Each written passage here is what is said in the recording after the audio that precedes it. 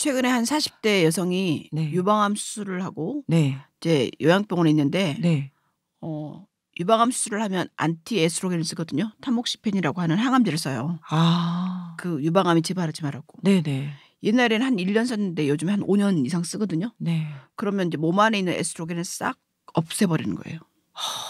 그러니까 갑자기 젊은 여성이 폐경이 돼버리는 거예요. 젊은 여성도 그러면 완전히 폐경기 여성처럼 돼버리는 거네요. 그러니까 인공적으로 폐경을 만들어 버리는 상태죠. 그러니까요. 그러니까 질이 너무 건조해지죠. 아.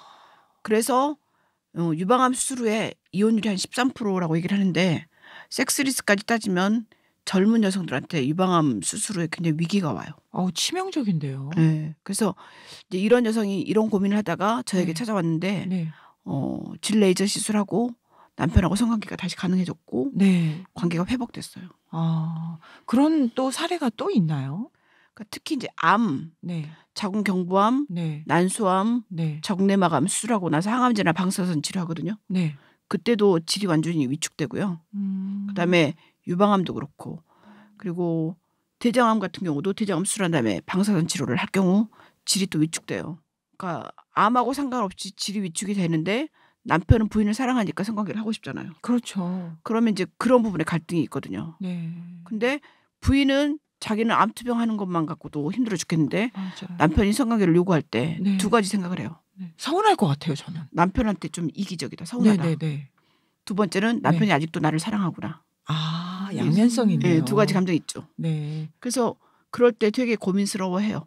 네. 남편도 비슷해요. 네. 남편도 내 아내가 암투병 하는데 내가 이렇게 동물처럼 짐승처럼 이렇게 성관계를 요구하는 것이 네. 미안하다는 생각과 음. 그래도 사랑의 마지막은 내가 부인을 여자로서 사랑하고 섹스하는 거라고 생각하고 성관계를 하는 두 가지 감정이 다 있어요. 네. 그래서 특히 갱년기도 위기지만 암 수술 후의 성생활도 되게 젊은 부부들이나 그냥 건강한 부부들한테는 굉장히 큰 위기예요. 그리고 어. 왠지 그 암 수술한 다음에 성관계를 하면 뭐 암이 올, 옮을 것 같고 뭐 이런 생각을 하는 분들도 있어요. 아, 그런 생각하시는 사람이 분 있어요? 네, 자궁 경부암이나 뭐 이런 것 그리고 그래서 성관계를 또 기피하는 분들도 있어요. 그러면 아내 쪽에서 그렇다는 얘기죠. 둘 다일 수도 있고 아, 한 명일 수도 있고 아. 그래서 성관계를 그래서 기피하는 경우도 있거든요.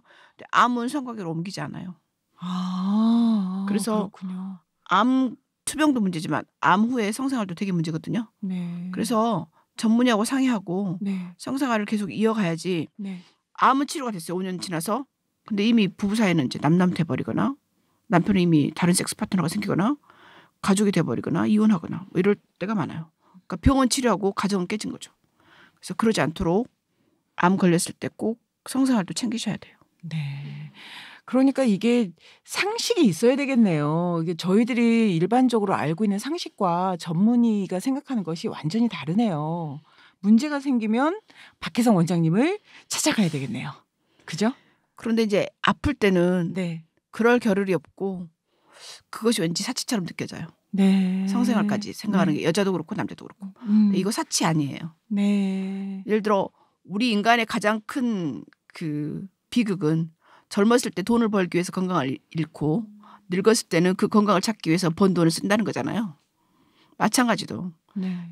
막 부자가 되려고 돈을 모았는데 가족을 잃거나 뭐 사랑을 잃어버린 것처럼 뭐 건강을 찾았는데 행복을 잃거나 이럴 수 있잖아요. 그래서 꼭 같이 챙겨가고 생각을 해야죠 머릿속에. 성생활이 남자들한테 굉장히 중요하거든요.